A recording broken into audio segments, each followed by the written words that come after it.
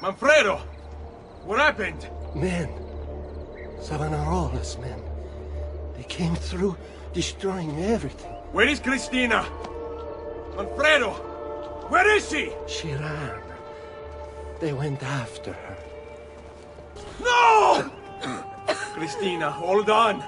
I'll get you to a doctor. You're going to be all right. No, it's... I don't think I am. No! Don't go. Stay with me, Cristina. Ezio, don't you know? I've always been with you. I wish we could have had a second chance.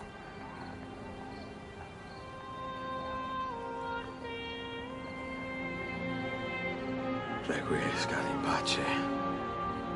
My love.